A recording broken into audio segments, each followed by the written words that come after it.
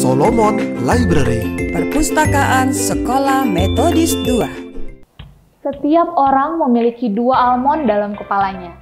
Letaknya jauh terbenam kokoh di antara belakang telinga hingga kepala. Bentuk dan besarnya pun sama seperti almond. Namanya amigdala. Karena dikatakan mirip biji buah persik atau disebut juga sebagai almond. Halo, kembali lagi dalam bedah buku kali ini bersama saya Maria Veronica. Pada kesempatan kali ini kita akan membahas sebuah novel Almond karya Son Wong Pyung. Novel ini adalah salah satu novel bertema psikologi. Novel Almond membawa isu mental health yang relevan dengan kehidupan kita saat ini.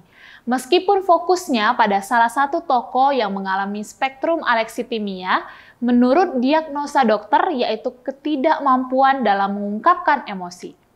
Tokoh utama dalam novel Almond ini didiagnosa menderita alexitimia atau ketidakmampuan mengungkapkan emosi serta merasakannya. Orang-orang yang mengalami luka di bagian Broca dan Wernicke sebagai pusat bahasa dalam otak tidak mampu berbicara dan memahami bahasa. Namun tidak demikian penyakit ini. Ia hanya tidak dapat merasakan emosi dan tidak bisa membaca emosi orang lain, sehingga mengalami kebingungan dalam merespon emosi. Para dokter menyatakan penyakit ini disebabkan karena almond atau amigdala dalam kepalanya berukuran kecil dan jaringan komunikasi antara sistem limbik otak dan lobus frontal tidak lancar. Salah satu gejala yang muncul apabila amigdala berukuran kecil adalah tidak bisa merasakan takut.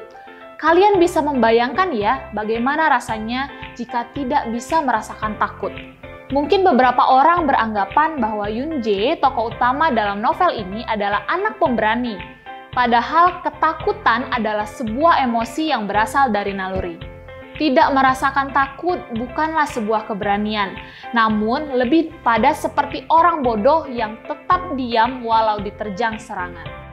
Pada novel ini, kita bisa belajar bagaimana mengenali kesehatan mental yang sangat jarang diderita oleh manusia. Penulis menginginkan ada rasa pedih dan empati pada setiap orang yang memandang rendah siapa saja yang berbeda termasuk persoalan bullying yang sampai saat ini masih menjadi tugas besar bagi kita bersama. Bukan hanya di Korea, namun juga di Indonesia.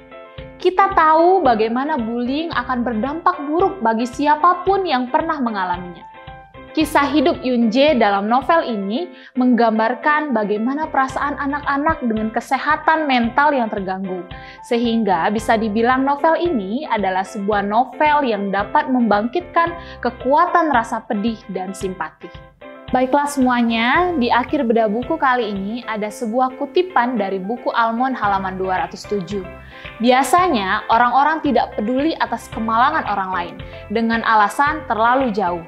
Namun mereka juga tidak melakukan hal apa pun atas kemalangan yang terjadi di hadapan mereka dengan alasan rasa takut yang begitu besar. Kebanyakan orang tidak melakukan apa pun ketika merasakannya dan dengan mudah melupakan rasa simpati. Sekian bedah buku hari ini. Terima kasih, Tuhan memberkati. See you.